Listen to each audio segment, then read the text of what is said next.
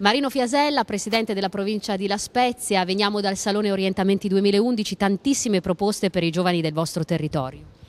Ma è quasi un dovere. Abbiamo tanti giovani disoccupati, tanti giovani che come negli altri territori di questo paese vivono un momento di grande smarrimento perché eh,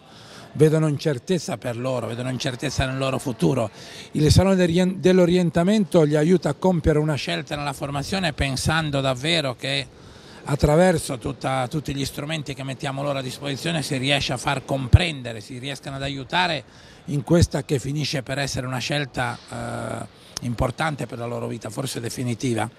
Eh, mettiamo in campo tutto, mettiamo a sistema gli istituti superiori, le università che sono prossime al nostro territorio, mettiamo a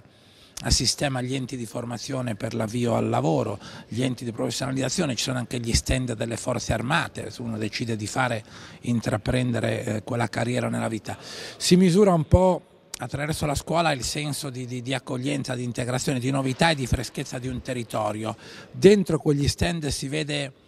la competizione, come se, se, tutta la scuola spezzina siamo riusciti a farla vedere come un grande condominio, ma un condominio armonico, dove ognuno presenta le sue diversità, è disponibile a far parte dell'insieme del palazzo dell'istruzione e della formazione, ma ognuno ci mette il suo, la sua particolarità. Italia vive questo dramma di una popolazione che sta invecchiando, la nostra provincia e la Liguria in generale ancora di più.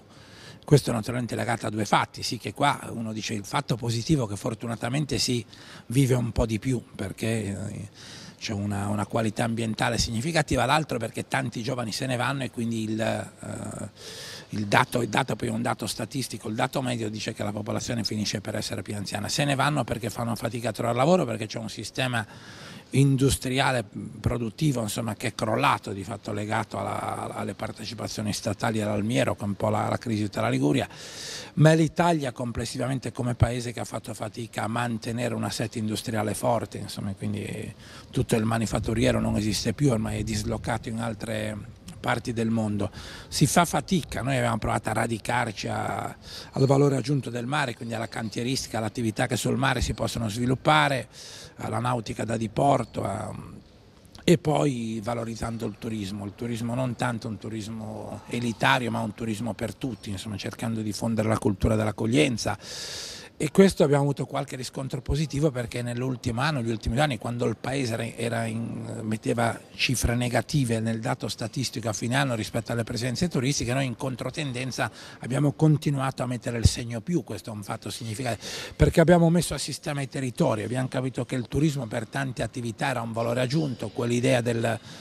del mondo da conoscere, da valutare, da vivere, insomma, quella figlia della cultura del viaggio lento ma della comprensione del territorio che si valorizza e si conosce, uno si porta a casa il sapore, il gusto dei prodotti quando viene a visitare questo territorio, vale per il mare questo tanto che per l'entroterra, per quella macchia di verde che sta alle spalle di questo mare azzurro meraviglioso. Altro dato positivo di cui abbiamo avuto proprio il termometro questa mattina visitando Orientamenti 2011 è la fattiva collaborazione tra le aziende del territorio e l'istituzione scolastica. Quindi c'è questo scambio continuo tra la scuola e il mondo del lavoro. Sì, sono tutti strumenti, tutte perché tutte le cose che si fanno per farle ci vuole un po' di fatica. Abbiamo provato a compierla questa fatica appunto per mettere in campo qualche strumento per agevolare, perché qualcuno dice i sistemi che si parlano, vale come eh, poi le scelte successive fra la domanda e l'offerta, insomma fra davvero se questi due mondi si avvicinano, la domanda e l'offerta diventa più facile davvero per rispondere in modo adeguato ai bisogni del paese e quindi ai bisogni del territorio. Eh, noi eh, un, siamo un territorio che in ritardo rispetto ad altri ha vissuto il fenomeno dell'immigrazione dentro orientamenti e dentro la scuola del nostro territorio che ho visitato in questi, in questi, anni sono riuscito a capire che è il luogo nel quale si misura davvero la cultura dell'integrazione. Si fa fatica a volte fra adulti a comprendere, a, ad accettare nei quartieri, ad accettare sugli autobus il uh, numero significativo di immigrati, ti accorgi che c'è, un atteggiamento quasi sempre di, di considerarli un po' diversi, noi e gli altri, dentro la scuola non è più così. Per i giovani diventa un fatto naturale integrarsi La cosa bella che parlando con questi giovani ci sono da noi istituti dove la popolazione di immigrati è superiore al 30% degli iscritti, quindi cifre significative, sono un numero unico, insomma, non, un numero, non, non ci sono il numero di questi e il numero degli altri, è solo un dato statistico, poi ti accorgi che nei giovani figli di immigrati che sono qua ci sono le stesse aspirazioni, le stesse ambizioni dei giovani nostri, quindi questa è l'integrazione vera. I loro genitori sono venuti qua e hanno accettato di fare i manovali in edilizia, i lavapiatti, poi ti accorgi che se vai all'Istituto Casini l'ambizione dei figli degli immigrati è di fare il caposala, il grande chef oppure addirittura gestire un albergo, un locale, quindi questo è bello, questo è che dà soddisfazione.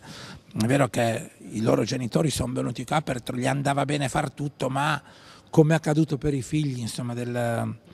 eh, per, per, le generazioni, per i nostri genitori, per i nostri nonni, che l'ambizione loro era quella di far consentire ai propri figli una vita migliore della loro. E per gli immigrati eh, accade questo, quindi è,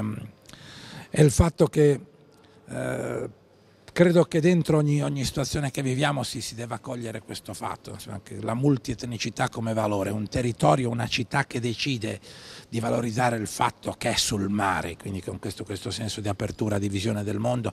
di interfaccia, di porto civile, culturale e in qualche tempo anche morale del Mediterraneo. È un'ambizione alta questa. Non siamo solo un posto dove arrivano i container per il cuore dell'Europa e dove l'Europa manda attraverso il quale l'Europa manda i propri container eh, nel Mediterraneo, ma siamo un porto e l'idea di, di porto la dice lunga, siamo un luogo sul mare da dove si può arrivare da mille direzioni, insomma, quindi